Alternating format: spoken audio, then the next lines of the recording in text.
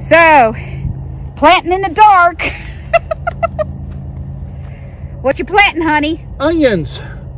Yeah, we got um Texas legend, Legends. onions. So we put them in some water because, uh, and we're planting in the dark.